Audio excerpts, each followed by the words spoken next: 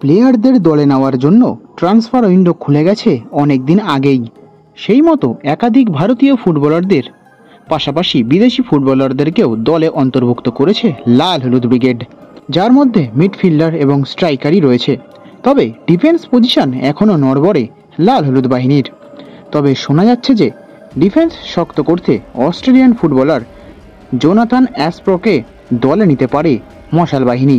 এই মুহূর্তে তার বয়স সাতাশ বছর এবং কারেন্ট ক্লাব মাকার্থার এফসি।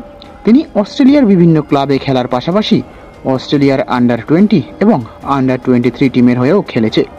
বিদেশি ফুটবলার দলে নেওয়ার কাজ চললেও আরও বেশ কিছু ভারতীয় ফুটবলারকেও দলে নিতে চলেছে ইস্টবেঙ্গল যার মধ্যে নাম শোনা যাচ্ছে মিডফিল্ডার জায়েশ রানের। এছাড়াও বেশ কিছুদিন আগে রহিম আলীর নাম শোনা গেলেও তার এই মুহূর্তে লাল হলুদ জার্সি গায়ে চাপানোর সম্ভাবনা কার্যত ক্ষীণ বললেই চলে।